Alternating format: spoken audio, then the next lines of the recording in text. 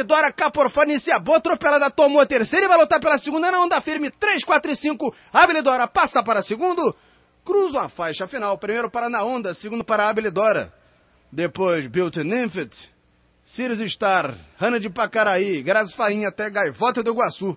O resultado do quinto páreo que acaba de ser disputado no Hipódromo da Gava. Anunciamos a vitória para quatro.